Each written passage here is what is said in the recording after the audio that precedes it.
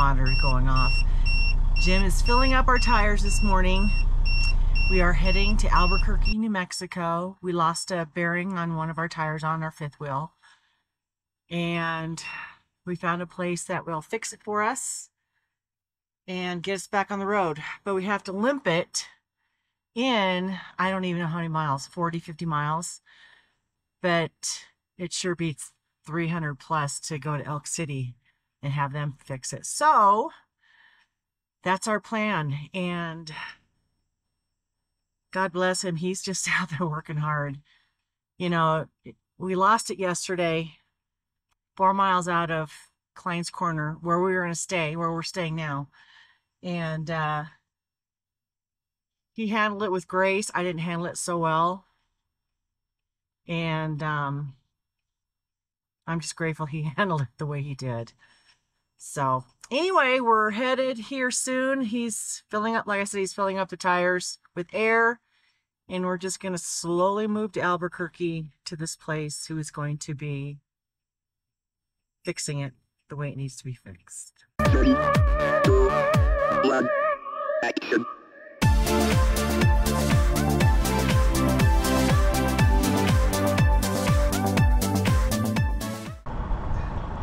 Is there anything I can do for you? Uh, I don't think so.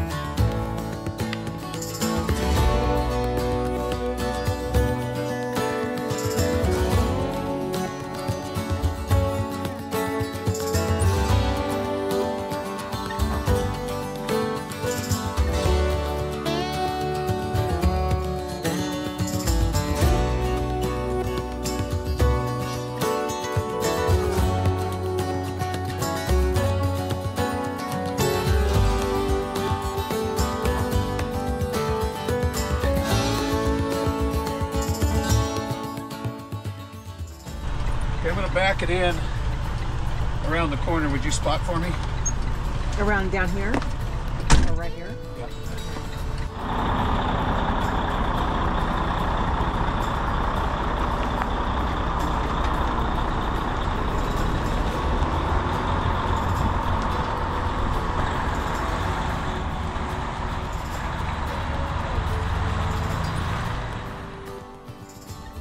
So do you trust the work? Yeah. Okay,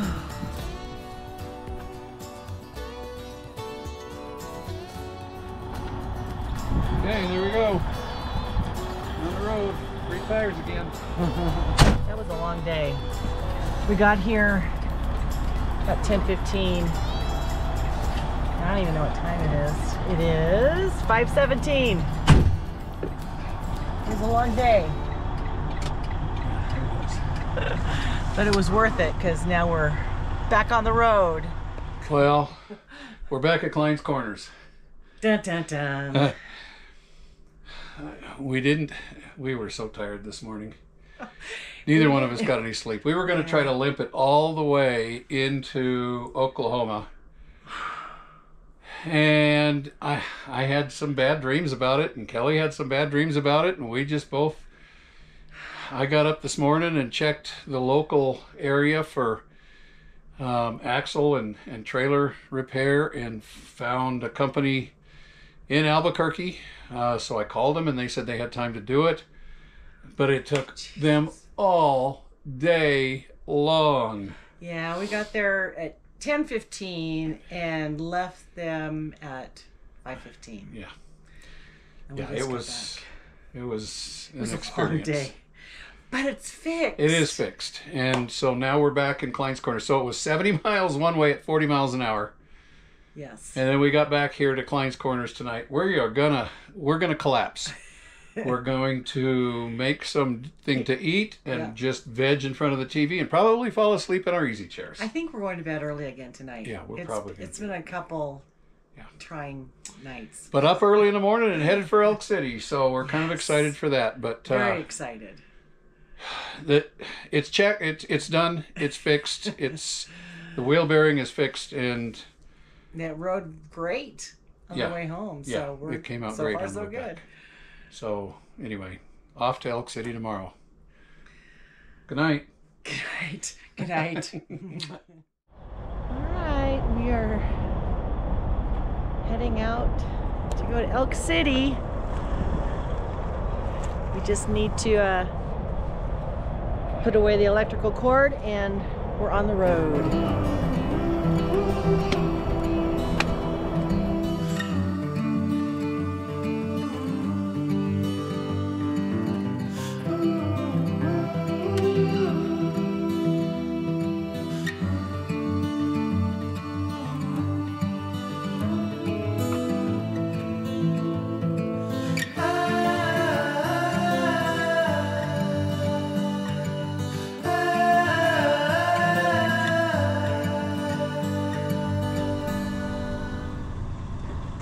I'm back in the saddle again. Changing it up. Yeah, that's a change, that's for sure. It is 37 degrees here in Cline's Corners, New Mexico. The sky is clear. Really sunny. The forecast for Elk City, Oklahoma is 46 and thunder showers. That's So, I don't like that. here we go down the road. You look clear over here. Okay. If we haven't told you before, this place here at Cline's Corners, New Mexico, is just east of Albuquerque. And it's a, it's a pretty nice little stop. It's 30 bucks with tax, which brings it to 35 and change. But you've got full hookups, and so if it's cold or hot, you know, you've got electric. And we never we usually just pull in and don't unhook. Yeah. And it's gated. And it's gated. Yeah. Uh, so you feel safe. It, you can hear some trucks on the highway once in a while, but for the most part, it's a pretty, pretty easy, pretty nice stop. And Yeah. so we use this as kind of our, our go-to when we're in the area. We're going to get on the road today, go east on Interstate 40 to Elk City, Oklahoma. We've got some work we need to do on the rig, and uh, we'll probably stop once or twice and check the check the hubs. Uh, I did I did recheck my Turn right on US 285. I did recheck my uh, lug nuts for torque this morning. For those of you that were wondering. And I checked my air pressure in my tires since it cooled down and I had to put some air in. One half mile. Tires. Turn left on I 40 East. But we're back in the saddle, we're hitting the road, and it looks like a beautiful day. So we're gonna try to enjoy it. That's should right. be there uh, should be there early afternoon, time to make dinner. Here we go, down the road.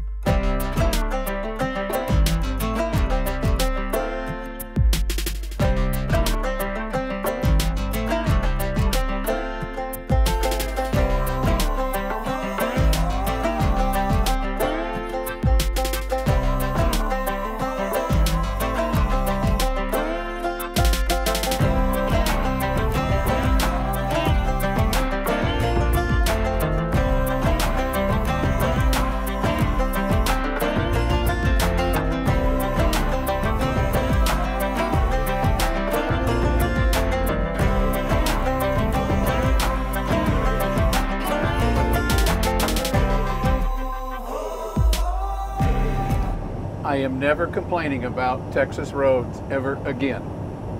No, these are nice. We, and the ones we've been on, even this morning, not very nice. we we've been on New Mexico roads for the past three or four days, and it they're just awful. They're horrible. Oh, so bad that you just want to scream. That's how bad they are. They They're beat just- us up pretty bad, Yeah, it was so obnoxious. and and it seemed on their interstates, and not only here on I-40, but we have found we find the same thing down on I-10 in southern New Mexico. But the, Ugh. there are potholes right exactly where your right front tire is going to hit in the lane.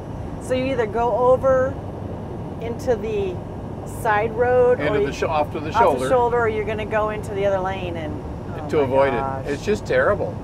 It's, It's just awful. And they're spaced so that you get banged every 10 or 15 seconds. For a while there, and there was nobody around us, so he was right in the middle of the road, right in the oh, line. Yeah, I took my half out of the middle. That's right.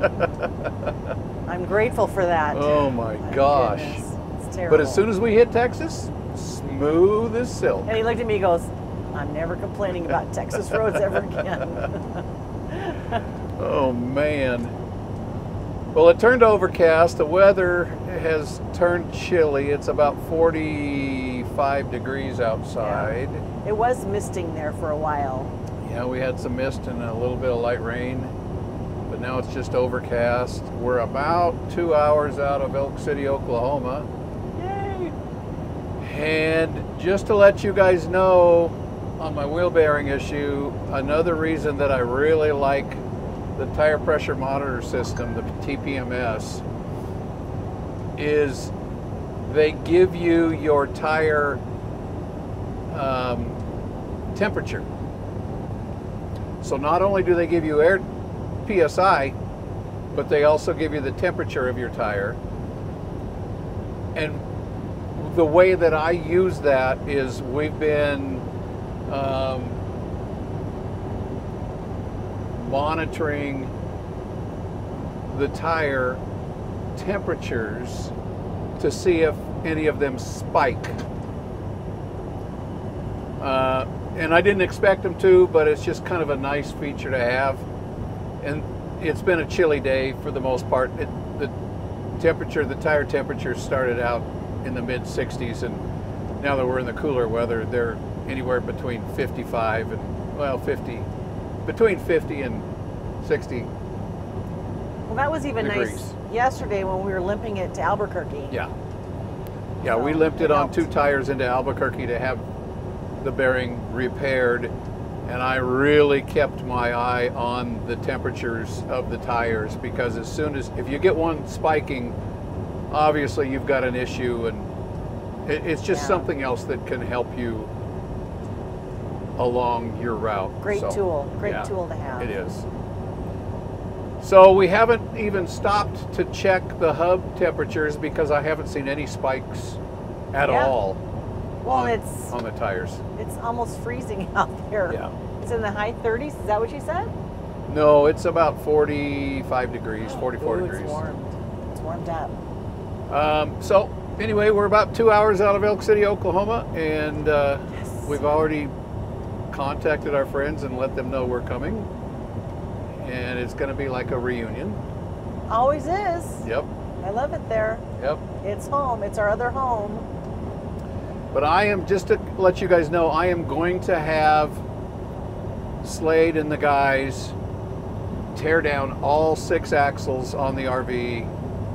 I've got a little over 20,000 miles on these on these bearings being packed the last time, and so I'm just going to have them tear everything out and repack all six. I mean, it's time. It's been a couple of years, and then uh, I I know on the one the bearing that I blew the brake pads kind of got fried, and so I'm going to need to replace the brake pads on at least that one, and I want them to check the brakes.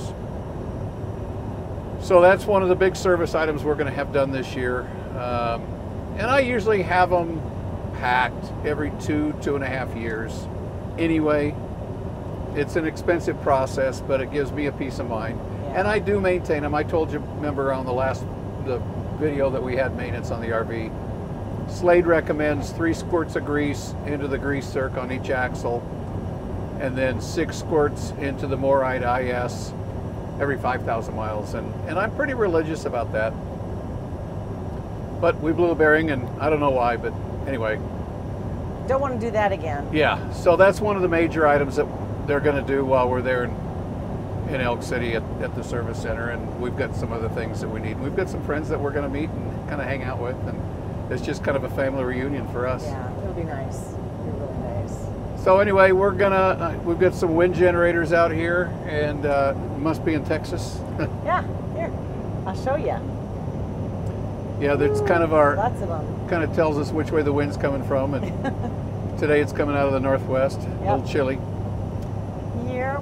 and fuel is a little bit cheaper in Oklahoma, so we'll That's probably exciting. top off there before we start heading south. Sayre, Oklahoma yep, is where we usually and we get to go to church tomorrow Oh, that's at Pastor right. Andy's church. We're coming for you, Pastor. So we're excited. We're going to spend some time in Elk City, Oklahoma, and uh, see some friends and hang out a little bit, get some service work done.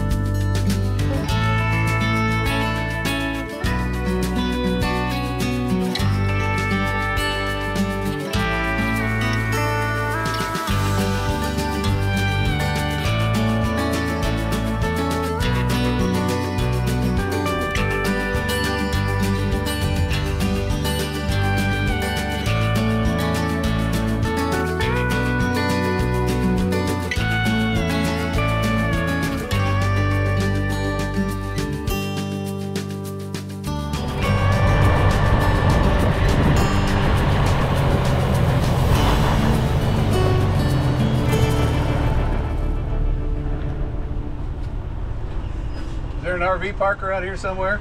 No, sir. You're in the wrong place. Your rig won't fit here. How you doing, sir? I'm good. How are Good you? to see you. Good to see you. Wow. Hello. It's good to be seen. Excellent. It's good to be here. I'm glad y'all are here. Well, it was good to be back in Oklahoma. It was. It was great seeing everybody. It was. Um, they're kind of. We kind of consider Slade and Alicia and and uh, Mary Jo and and Liz and Jason and Travis and, Galen. Galen and Steve and, and the gang. We consider them kind of our second family. Yes, they are. You know, we waited five months in Elk City, Oklahoma, waiting for this, and they they just treated us so well while we were there. I And- know Jason and his family. Every time we'd go over there, if we were in there for the holidays, yeah.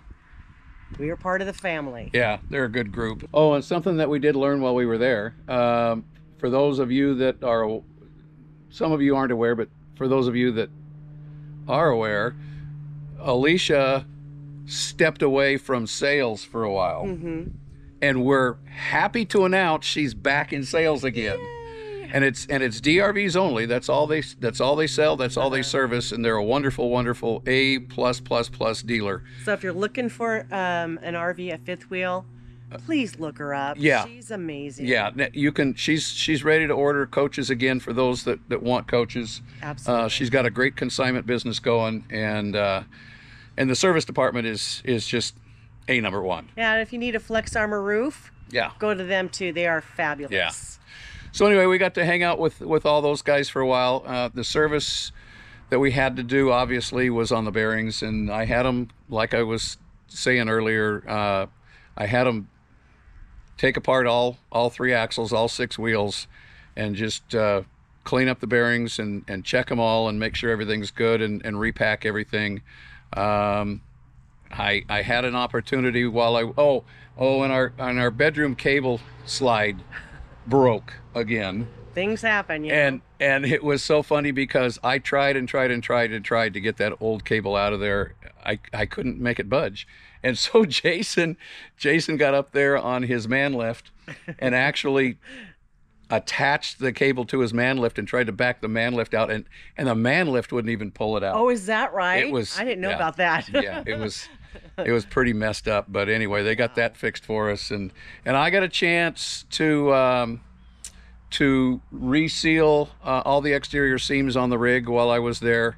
Um, that's something that you know that as an RV owner you should be aware of. You know they put silicone around the doors and and all the seals and everything, and and if you don't, then you could have water intrusion and really end up with some issues. And and mine hadn't been done since we left the factory with a couple of, of patch jobs, and so I, I stripped and and resealed the whole rig uh, with some help from our good friend. Yeah. it will be remain nameless. Yes. but anyway, um, we we got a chance to hang out with with our good friends Neil and Don, and, and even got a chance to go to church with them. That's right. Before they had to leave, we got to spend some time with them. It was really nice. Yep. It's been Go to Oklahoma, they said. It'll be nice going south for the winter, they said. south. It's always warm here. yeah. Wrong. We're in Oklahoma. And I want to bust out in song. Oh my gosh. And right now, the temperature in the vehicle says it's 30 degrees outside. Yeah. And the wind's blowing at 10 to 15 miles an hour. Right. it's perfect. So, as you guys know, we like to head to uh, visit different churches while we're on the road. And our good friends, Neil and Don, are here in Oklahoma in the wind and the cold with us. And uh, we're going to church this morning. We might be the only ones there. So, as you guys know, we always, you know, love visiting churches while we're on the road, and we found a really good one in Sayre, Oklahoma, and, and we got a chance to take Neil and Don with us. Uh, they'd been there before with us, and, and so they went with us, and and we met some new friends there, um, John and Janice. Mm-hmm. Uh, they were having some work done on on their RV, and we, guys, this is just.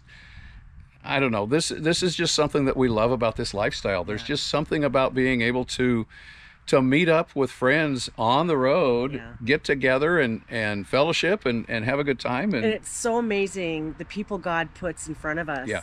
It's He just blesses us. and and he'll put people in front of you as well. Absolutely. You know, uh, if if you choose this lifestyle, uh, get out and meet people, and then it's so much fun to crisscross along the road.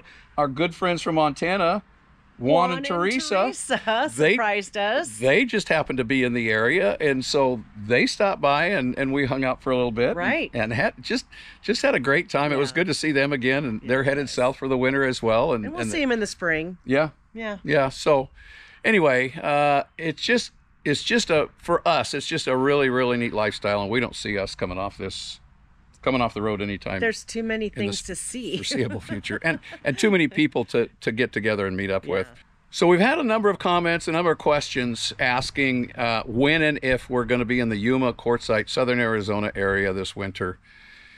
So uh, we kind of laid it out earlier in the season. Um, everything right now is in jello guys. Uh, we decided to leave this season uh, open um, the only thing in, in stone right now is we're going to visit our daughter and her family in North Texas for Thanksgiving. We've got some very, very, very precious friends that that we've come to love uh, like family in San Antonio, and uh, we're going to stop and see them for a while. And then uh, the plan is is we're going to go down and get some Cajun food for a few days I know. in southern Louisiana, uh, and then we've got some great friends that we met up in Montana, and and they've got a place in Mobile, and and they asked if if we had time to stop, so we're going to stop and hang out with them for a little bit, and then we're going to go to uh, the Panhandle of Florida for Christmas and see some friends that we've known for over 30 years, um, and hang out with them for Christmas. After that, everything's in Jello. yeah. And it's kind of nice. It Not having to It is. to worry about that. So are we going to be to Southern Arizona this season? Yeah. Yeah, we'll be there. We just don't know when. Uh, we decided to just jump around this year. Yeah. Not stay in one place for months. Yeah, and and as things come up, you know, we don't have any plans, and so we can do whatever we want. Yeah. Um, so that's been kind of nice. Uh, that's just kind of how we roll. And I, if I had to guess, I would say that we're going to be in Southern Arizona. I don't know, mid to late January would be my guess. Uh, we're going to spend a you know a little bit of time in Yuma. Uh, we we just found out that Ricky and Denise Parker, some very good friends of ours, some special friends of ours, together. are going to be in Yuma uh, this winter. mm-hmm. So we're going to stop by and see them. Uh, of course, we'll stop by and see everybody at Quartzsite, I'm sure, for, for a while. I don't know how long we'll be there.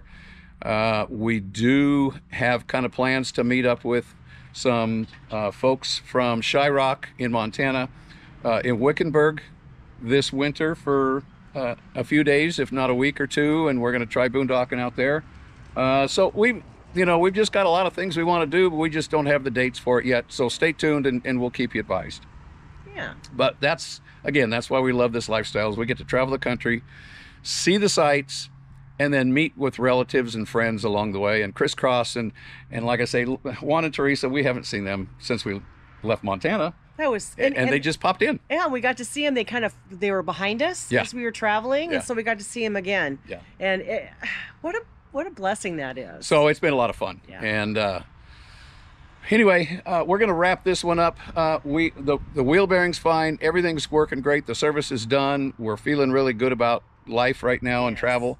And uh, we're gonna we're gonna kind of hang out with some friends and family over the holidays and have some fun.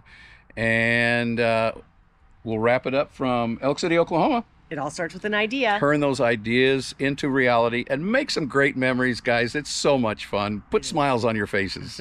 we'll talk to you next week. Bye-bye.